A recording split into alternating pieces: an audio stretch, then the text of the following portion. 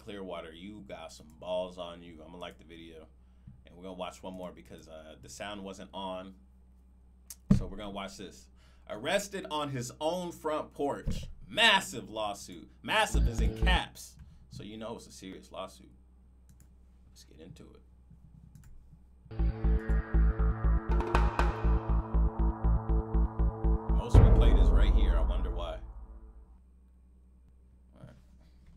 What and the right and wrong of police interactions. This episode covers obstruction, the right to film police officers, and mm-hmm. warrantless arrests, and is brought to us by the Civil Rights Lawyers channel. Be sure to check out the description below and give them the credit that they deserve. On August 7th, 2020, deputies Dalton Martin and Jordan Horn of the McDowell County Sheriff's Office in West Virginia approached 66 year old Donnie Hairston and his 63 year old wife Ventress while they were sitting on the front porch of the home they rented from former mil- His wife's name is Ventress?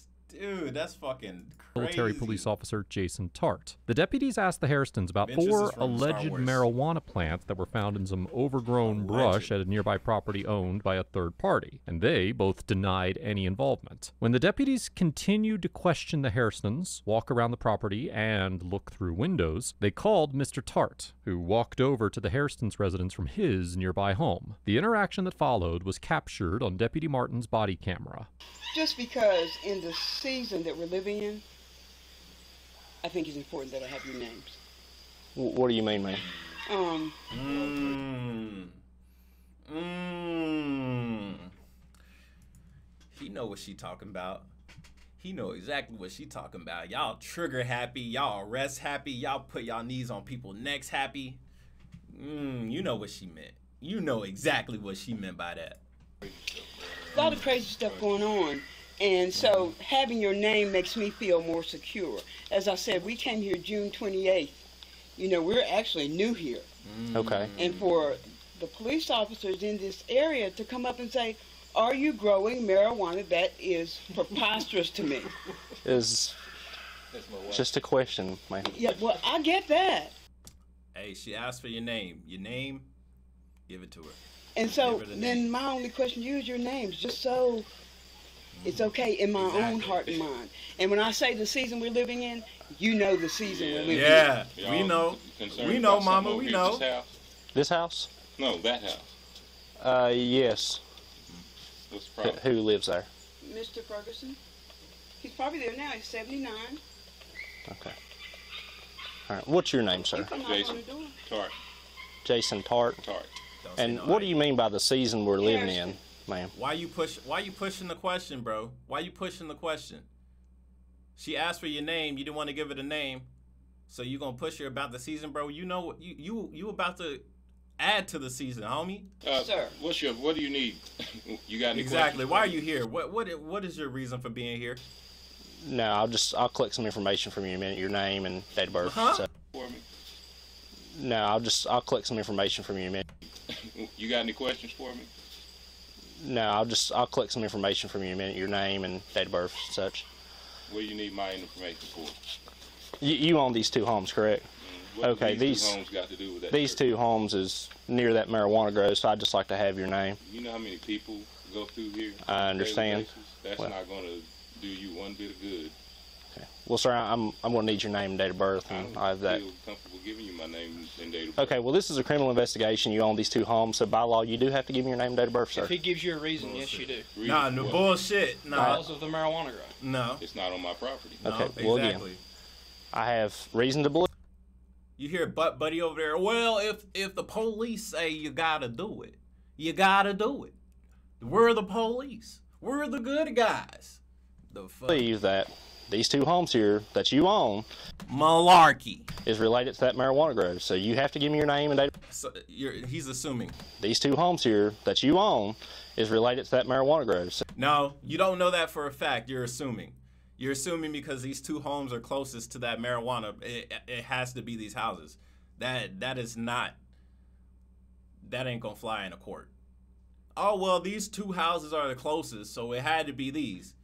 You find a dead body in an alley. Well, these two buildings are the closest to the to the body, so obviously the owners of these two buildings have something to do with it. That's not how this shit works. So you have to give me your name and You date of birth by law. The deputies investigation. inform Mr. Tart that he is required Negative. by law to give his name and date of birth. West Virginia does not have a separate stop and identify statute that allows officers to arrest individuals for failing to identify themselves in certain situations. Rather, officers often use the state's obstruction statute to arrest individuals who refuse to identify themselves when they are required to do so. According to section 61 5 mixed it. 17 of the West Virginia Code, quote, a person who by threats, menaces, acts, or otherwise forcibly or illegally hinders or obstructs or attempts to hinder or obstruct a law enforcement officer acting in his or her official capacity Which is guilty of a misdemeanor. Which in the aren't. 2003 case of State versus Serinsky, the Supreme Court of Appeals of West Virginia held that, quote, refusal to identify oneself to a law enforcement officer does not, standing alone, form the basis for a charge of obstructing a law enforcement officer in performing official duties. Obvious. However, the court then clarified that, quote, the charge of obstructing an officer may be substantiated when a citizen does not supply identification when required to do so by express statutory direction or when the refusal occurs after a law enforcement officer has communicated the reason why the citizen's name is being sought in relation to the officer's official duties. which they did not do. While the deputies did communicate a reason for requesting Mr. Tart's name by claiming that they needed it due to the proximity of the properties they- he they owned to the alleged marijuana plants, the the Fourth why. Circuit Court of Appeals, which has jurisdiction over West Virginia, determined in the 2021 case of Wingate versus Fulford that the application of a local stop and identify ordinance was unconstitutional, quote, when applied outside the context of a valid investigatory stop, and that, quote, a valid investigatory stop supported by Terry level suspicion is a constitutional prerequisite to enforcing stop and identify statutes. Applying this reasoning, it is likely that a court would find that the deputies could not constitutionally arrest Mr. Tart for refusing to identify himself in this situation. Although hundred percent because they don't know. They're not even ha- they don't even have a full investigation. All this guy is like, oh, somebody called about marijuana. This marijuana is close to your house, so I think uh, you should give me your name and date of birth. What? The case law establishing this was not issued until after this incident occurred. It should also be noted that Mr. Tart did provide his name when the deputies first asked. sure and because the case law, likewise, does not authorize an arrest for refusing to provide a date of birth, it is likely that a court would conclude that Mr. Tart's conduct did not rise to the level of obstruction. Go get a go get a pen and piece of paper. Reason to believe what? Why? Because these houses are here. Do you understand that there's a lot of traffic going through here? Since we've lived here, people come up here and they park there, and we don't know where the hell they go, and then they come back out. I don't have a problem giving you my information. I'm just Okay, well that's all I need. understand It doesn't have to be an argument. I mean, just give me your name and It's date of not an argument. You- It's easy. It's not easy. My property has nothing to do with what you found. Okay. Well, we're we're just making sure of that You scared We'll be the judge of that. me. I mean, who- Scared you? Who says that? Who, by asking you a question. who comes Well, to be fair, you didn't answer her question. All she did was ask for your name, and you still ain't gave it, Officer Dingleberry. up and ask? I don't want to hear that. And it scared you? I don't want to get get that bass out your mouth, man. You scared because she asked for your name. You got scared. It was like, oh well, shoot. I guess I need to arrest these people. They know too much. They too smart. They ain't just listening to me. I'm trying to understand what It scared you by me asking you a question. growing marijuana? And that's a question. Just say she asked for your name. You still ain't give it, Dingleberry. somebody scared you because they asked you a question is ridiculous. That's preposterous. Go ahead and give me your name, sir. You know, yeah, wait, wait. First name. It's ridiculous to you, sir. Yes, ma'am. But it's not ridiculous. Your first name. I'm not giving you my information. Sir, if you refuse to give me your information, I'm going to arrest you. That's fine. My Hmm, That's property has nothing to do with any marijuana right, you know. whatsoever. Go ahead, You're going arrest to arrest me if I don't give you my name and date of birth. It's obstructing an officer How? Because you're hindering me from doing my job. You're hindering How me am from. I hindering you from doing your Sir. job if it's not on my property? Last chance to give me your name and date of birth, Oh, sir. oh, so you just gonna come How on am I hindering Last, you? sir, last chance to give me your name and date of birth. How am I hindering you? Place your hands behind your back. Place your hands behind your back. Are you going to give me your name and date of birth? Take me to jail. You're right. I'm hindering you from doing your job. Please. I'll see if I can find you my name first. No, I'm hindering you from doing your is job. Really going out off the Yeah, this is how you guys. This is bad. This is, 112 control. this is, this is how you operate. This, this is a wrap. This is, I'm hindering you from doing your And that's why job. I needed their Y'all need to go inside. This- Again, you two go inside. Go inside. I'm afraid. Go inside. I'll tell you the I can't, Go inside. stand on my own porch. No, go inside as of right now. Tell me why. Go inside. How- what are you doing, Step off the porch. Step off the porch. Don't, don't. I'll step off. Go inside. What are you Man, doing? This is unnecessary for Sir, you to be go doing. inside. This. He's standing on his own porch. Go inside. No, no, you can't Don't put. Come- You cannot push people into their own home and close the door. You cannot do that. That is not legal. Go inside. Step back. Go inside. Look, yeah, that, that's completely uncalled for. When Mr. Hairston starts filming the interaction between the deputies and Mr. Tart, Deputy Martin forces the Hairstons into their home, pushing Mr. Hairston into his doorway and closing the door behind him, effectively preventing him Easy from money. continuing to record the Easy encounter. money. While many federal circuits have acknowledged that the First Amendment protects the right to film the police and the performance of their duties, the Fourth Circuit, which includes West Virginia, has not. In the 2009 case of Szymecki versus Houck, the Fourth Circuit Court of Appeals held that an individual's First Amendment right to record police activities on public property was not clearly established in the circuit. However, because the Szymecki decision Oh my God, West Virginia, you guys are, well, land of the cousin lovers. So I guess did not weigh in on whether such a right existed, the state of the law regarding the right to film the police in the Fourth Circuit has remained unclear. In the 2021 case of Hulbert versus Pope, a U.S. district court denied qualified immunity to an officer who arrested two individuals in February of 2018 for recording the police on the public sidewalk in front of the Maryland State House. Although parties typically cannot file an appeal until the case has been completely resolved in the lower court, the defendant filed what is known as an interlocutory appeal under Section 1292 of Title 28 of the U.S. Code, which states that, quote,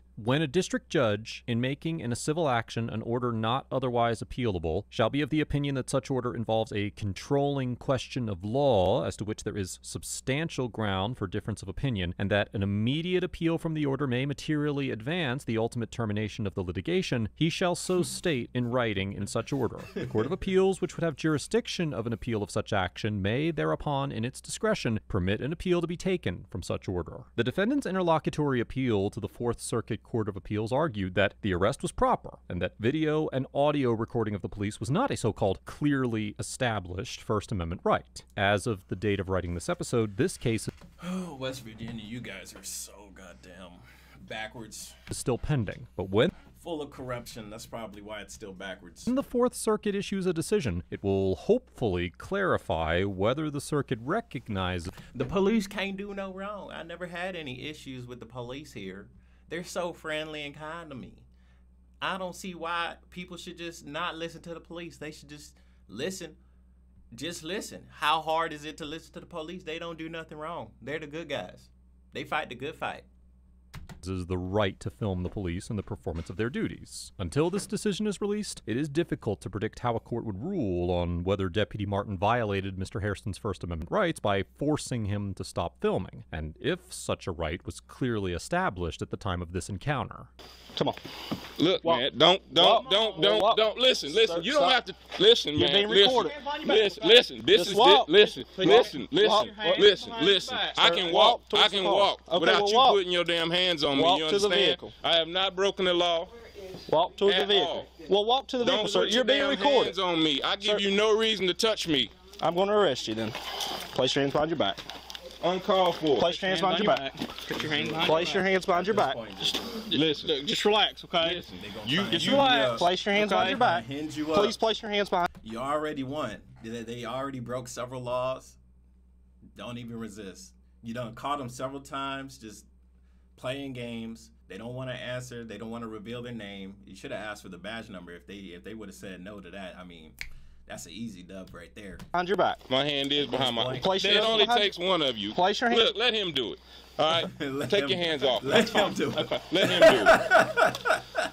You don't like him. I don't like either. I don't like either. Both of them. Both of them are freaking dummies. But Deputy Martin initiates an arrest against Mr. Tart on the porch by ordering him to place his hands behind his back. He then orders him to step down, and Deputy Horn handcuffs and arrests him in the driveway area immediately in front of the home. In general, the Supreme Court has long recognized that the land immediately surrounding and associated with the home, known as the curtilage, is considered part of the home itself for Fourth Amendment purposes. The court held in the 2021 case of Lange versus that. California that without other exigent circumstances, the pursuit of a fleeing misdemeanor suspect does not justify an officer's warrantless entry into a home or its curtilage. Further, in the 2018 case of Collins versus Virginia, the court concluded that, quote, when a law enforcement officer physically intrudes on the curtilage to gather evidence, a search within the meaning of the Fourth Amendment has occurred. Such conduct, thus, is presumptively unreasonable absent a warrant. Based on this precedent, it would seem that officers cannot arrest an individual in the curtilage of their home absent exigent circumstances justifying the intrusion. However, in the 1976 case of United States versus Watson, the Supreme Court held that the warrantless arrest of an individual in a public place upon probable cause did not violate the Fourth Amendment. And later that year, the court decided in the case of United States versus Santana that the front door of an individual's home was considered a so-called public place for the What? purposes of the Fourth Amendment. In reaching this conclusion, the court reasoned that, quote, while it may be true that under the law of property, the threshold of one's dwelling is private, as is the yard surrounding the house, it is clear that under the cases interpreting the Fourth Amendment, Santana was in a public place. What a person knowingly exposes to the public, even in his own house or office, is not a subject of Fourth Amendment protection. Bro, relying they, heavily they on just moving backwards as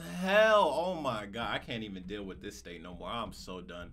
I want to know what happens because I can't even deal with this. They backwards ass laws. And the Collins case Oh involved a search rather than a seizure, it is also possible that a court would distinguish this situation from those decisions and hold that the location of Mr. Tart's arrest did not violate the Fourth Amendment. Oh my god. West, I'm oh, never go to West. 10 4, he owns two properties right here on this Baptist Drive road. We located a marijuana grow, probably not 100 foot, 50 foot from this last property of his, and he just won't give us his name, date of birth. And boy, him. deal white male, black man. Black now. After placing Mr. Tart in the back of the police cruiser and radioing in his arrest, Deputy Martin gathered the alleged marijuana plants and placed them in the trunk of the vehicle, presumably to take to the station as evidence. Mr. Tart was charged with obstruction of a law enforcement officer, but the case was dismissed by the prosecuting attorney on October 28, 2020, because Deputy Martin failed to appear in court. On August 9, Wow. 2022, Who would have guessed? Two, Mr. Tart and the Hairstons filed a federal sue. lawsuit against the deputies, and right. as of the date of writing this episode, the right. case is still pending. Overall, Deputy so, Martin So why is it called massive lawsuit if he ain't get the payout yet? Mm, and Deputy Horn get an F. Why? Massive lawsuit, bro. Didn't even get a payout, so they could eventually just say, "Oh no, we're just gonna throw the whole case out." For maintaining a hostile and aggressive demeanor throughout the encounter, arresting So now I'm upset, and there's no payoff. There's no absolutely no payoff. Mr. Tart for refusing Oh to provide God. his name when he had already provided it, and Oh preventing my Mr. Hairston God. from filming their arrest of Mr. Tart Yeah, by guys are forcing him into his own backwards home as hell. They know they're in the wrong. Dude didn't even show up to court because he knew he was gonna lose when that. there were clearly no safety concerns. Although it is possible that the officers will be granted qualified immunity for at least some of their actions in this encounter, it is important to note that this does not mean they behaved professionally, or even that they did not violate Mr. Tart's or the Hairstons' constitutional rights. It should not be forgotten that the deputies' behavior towards the Hairstons caused them to fear for their safety, and the deputies' failure to demonstrate any empathy or understanding as to why the Hairstons might feel that way can only be characterized as a willful refusal to acknowledge the realities of the current state of police citizen relations. Mr. Tart and the Hairstons get an A for remaining relatively calm and polite throughout the encounter, attempting to exercise their constitutional rights, and taking appropriate legal action